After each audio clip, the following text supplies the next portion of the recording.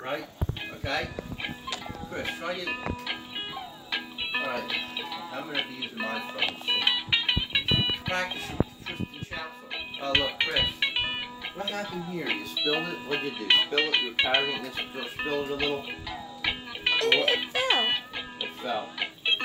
Well, you got a broom, Chris. There's a broom out there. Sweep it in one spot.